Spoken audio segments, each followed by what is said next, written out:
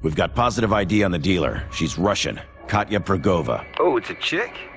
No, I feel kind of bad for calling her a bitch. We're working connections to see what we can find, but we've already got enough to be worried.